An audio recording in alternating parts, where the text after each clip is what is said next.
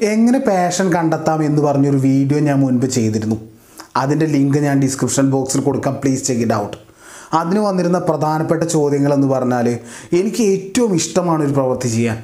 അത് ചെയ്യുമ്പോൾ ടൈം പോകുന്നത് അറിയുന്നേ ഇല്ല. എന്നാൽ അതിൽ നിന്ന് വരുമാനം ഉണ്ടാക്കാൻ പ്രത്യേകിച്ച് ഒരു മാർഗവുമില്ല അതെന്റെ പാഷനാണോ എനിക്ക് ഏറ്റവും ഇഷ്ടമുള്ള ആ പ്രവൃത്തി ഡെവലപ്പ് ചെയ്തിട്ട് അടുത്ത ഒരു ലെവലിലോട്ട് കൊണ്ടുപോകാൻ കഴിയുന്നുമില്ല. കഴിയില്ല. അങ്ങനത്തെ ഒരു മേഖലയാണത്. അതെന്റെ പാഷനാണോ എന്നൊക്കെ.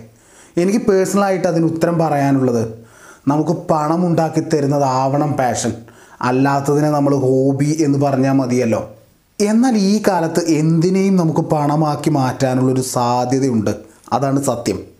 അതിന് ഉദാഹരണമായിട്ട് പറയുകയാണെങ്കിൽ ചൂണ്ടയിടലൊരു ഹോബി ആയിട്ടാണ് പണ്ട് എല്ലാവരും ചിന്തിച്ചിരുന്നത്.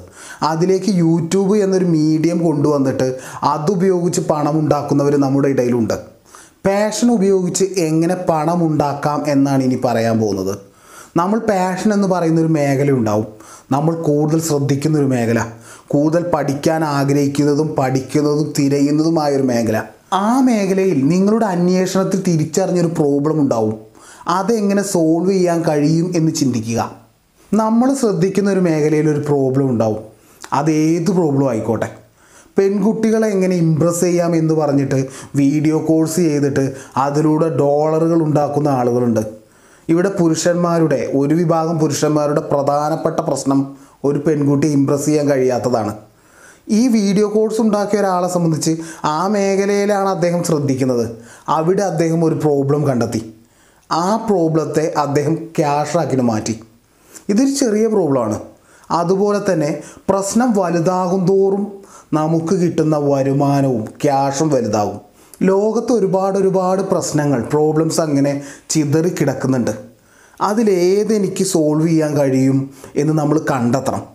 സ്വാഭാവികമായിട്ടും നമ്മൾ പാഷനേറ്റഡ് ആയ മേഖലയാകും. നമ്മൾ ശ്രദ്ധിക്കുന്ന മേഖലയാകും. നമുക്ക് ചെയ്യാൻ ഇഷ്ടമുള്ള മേഖലയാകും നമ്മൾ കണ്ടെത്തുക. ആ പ്രോബ്ലത്തെ നമ്മൾ കണ്ടെത്തണം. ഇനി അടുത്തൊരു മാർഗം എന്ന് പറയുന്നത് നമ്മൾ പാഷനേറ്റഡ് ആയ ഒരു മേഖലയിൽ ജനങ്ങൾക്കൊരു പ്രോബ്ലം ഒരു പ്രശ്നം ഉണ്ടാകരുത്. അവിടെ ഞാൻ ഇടപെടണം എന്നൊക്കെ നമ്മൾ എപ്പോഴെങ്കിലും ചിന്തിച്ചിട്ടുണ്ടെങ്കിൽ അതും ഒരു ഓപ്പർച്യൂണിറ്റിയാണ് അതിനൊക്കെ ഒരു ഉദാഹരണം പറയുകയാണെങ്കിൽ കൃഷിയിലൊക്കെ വളരെ താല്പര്യമുള്ള ആളുകളുണ്ടാവും. അവർ പറയും പുറത്തുനിന്ന് വരുന്ന പഴങ്ങൾ പച്ചക്കറികൾ ഇതിലൊക്കെ വലിയ വിഷമാണ് അത് കഴിക്കരുതെന്ന്.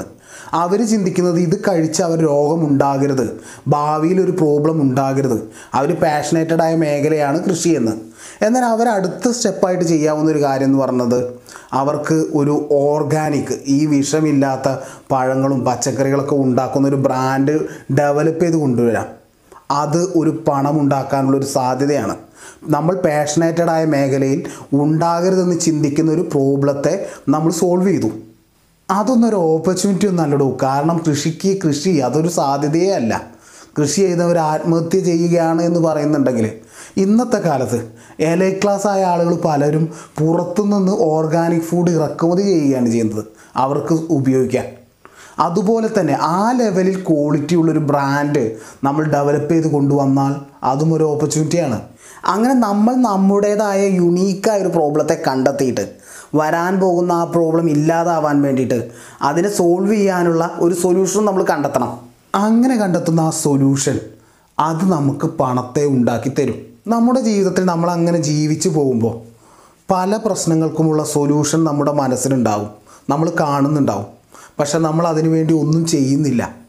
നമ്മൾ ശ്രദ്ധിക്കേണ്ട ഒരു കാര്യം നമ്മൾ ഇഷ്ടപ്പെടുന്ന നമ്മൾ പാഷനേറ്റഡ് ആയ ഏതെങ്കിലും മേഖലയിലെ ഒരു പ്രോബ്ലത്തിനുള്ള സൊല്യൂഷൻ ആയിരിക്കാം നമ്മൾ കണ്ടെത്തുന്നത്. നമ്മൾ ശ്രദ്ധിക്കുന്ന മേഖല ഏതാണോ അത് പലപ്പോഴും നമ്മുടെ പാഷനേറ്റഡ് ആയ മേഖലയാകാൻ സാധ്യതയുണ്ട്. അതുകൊണ്ട് തന്നെ നമ്മുടെ പ്രോബ്ലത്തെ സോൾവ് ചെയ്യുന്നതിൽ നമ്മൾ ശ്രദ്ധിക്കുക. നമുക്ക് സോൾവ് ചെയ്യാൻ പറ്റിയൊരു പ്രോബ്ലത്തെ നമ്മൾ കണ്ടെത്തുക. അതിനെ സോൾവ് ചെയ്യുക. സോൾവ് ചെയ്യുന്ന പ്രോബ്ലം വലുതാകും തോറും അത് നമുക്ക് തരുന്ന പണവും വലുതാകും. It's me M K Jayadev